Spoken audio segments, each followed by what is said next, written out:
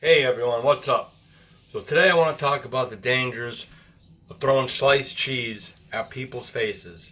There's people throwing cheese at sleeping guys, um, dogs, even babies. It's very dangerous.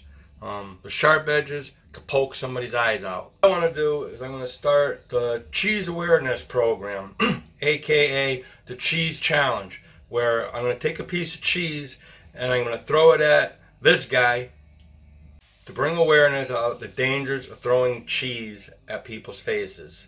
So I'm gonna go into the fridge. I got a slice of cheese right here. I'm gonna open it up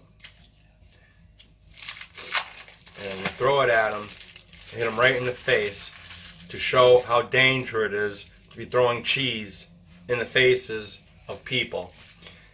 So here it goes.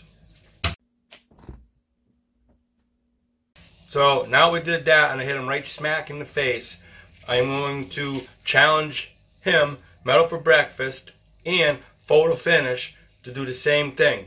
Take a piece of cheese, throw it at somebody, hit him in the face to bring awareness to why you shouldn't be throwing cheese at people and hitting them in the face. Edges are very sharp, poke somebody's eye out. So I can't wait to see what they come up with. Hey, thanks for watching that, and don't forget to subscribe to my channel.